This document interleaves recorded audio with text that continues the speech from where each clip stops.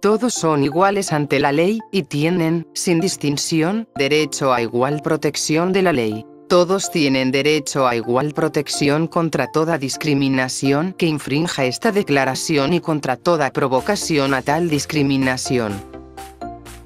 En el siguiente video te mostraremos los derechos fundamentales y universales que como personas tenemos. Los derechos humanos son aquellos que toda persona, sin importar su raza, sexo, etnia, lengua, nacionalidad o religión posee como derechos inherentes desde su nacimiento.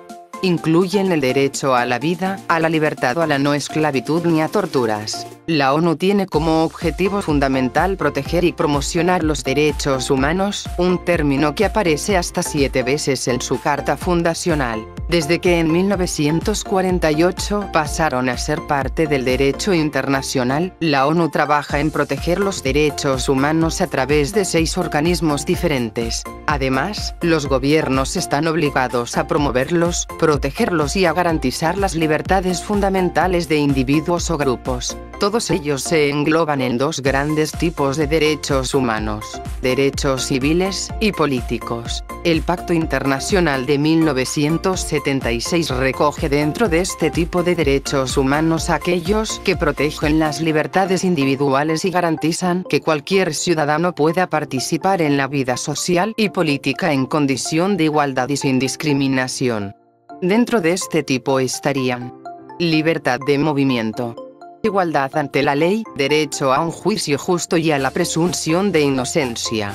Libertad de pensamiento, de conciencia y de religión, libertad de opinión y de expresión, la reunión pacífica, la libertad de asociación, la participación en asuntos públicos y elecciones, protección de los derechos de las minorías, prohíbe la privación de la vida, la tortura, las penas o los tratos crueles o degradantes, la esclavitud y el trabajo forzoso, la detención o prisión arbitraria, la discriminación y la apología del odio racial o religioso derechos económicos, sociales y culturales. Son derechos socioeconómicos, incluidos en la Declaración Universal de 1948, que incluyen el derecho a la vivienda digna, a la alimentación o al trabajo.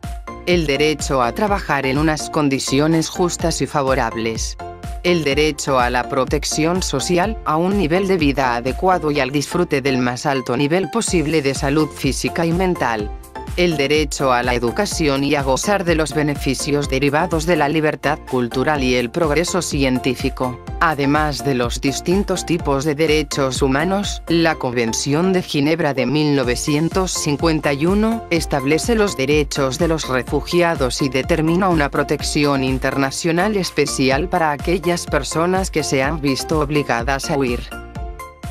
Si prefieres que subamos algún video en especial, déjanos en un comentario el tema que te gustaría que compartamos.